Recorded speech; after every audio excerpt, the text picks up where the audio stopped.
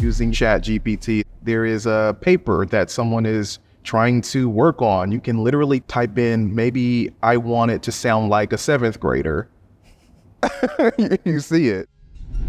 Hello, my name is Breon Martin. I am the AI Communications Project Manager here at Georgia Tech, and we want to welcome you to the first episode of Tech Takes, where we talk to experts here at Georgia Tech. Now, joining us on the first episode is a renowned expert, Sonia Chernova. Thank you for joining us. She has a long track record of groundbreaking AI research and also a commitment to advancing the frontiers of knowledge.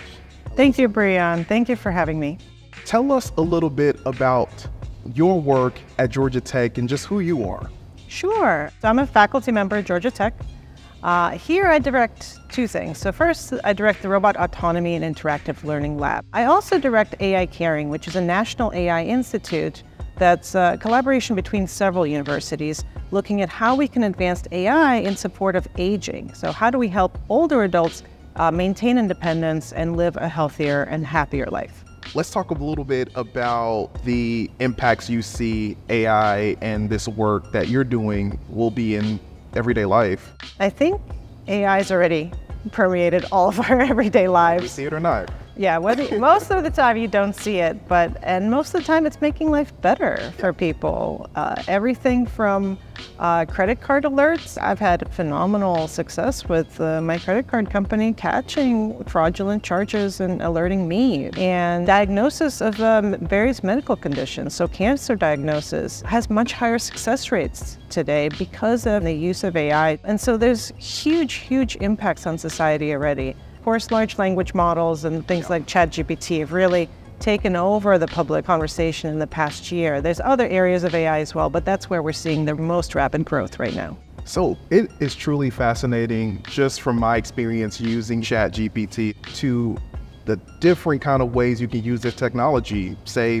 there is a paper that someone is trying to work on. You can literally type in, maybe I want it to sound like a seventh grader. Yes. you see it. Yes. How do you feel about like just the power that this one app that a lot of people just have on their phones that they can use? Yes. I think more than any other technology, this has been disruptive, like truly the definition of a disruptive technology. Mm-hmm. I think it's wonderful. I think it's going to level the playing field uh, for many, many people in a positive way. It can make um, various things more accessible. There are obviously risks as well. Um, we've all heard a lot of talk about fake news, making fraud more easy uh, to accomplish and, and, things like that. So we also have to worry about, you know, as with any disruptive technology, it comes with benefits, yep. it comes with risks, and we're still working through understanding what how to handle this. There's a lot of concerns around ethics and privacy when it comes to AI. You see this in every other news story on how policymakers are figuring out how we can leverage this technology or even how to regulate it. What do you see is one of the biggest issues with this topic?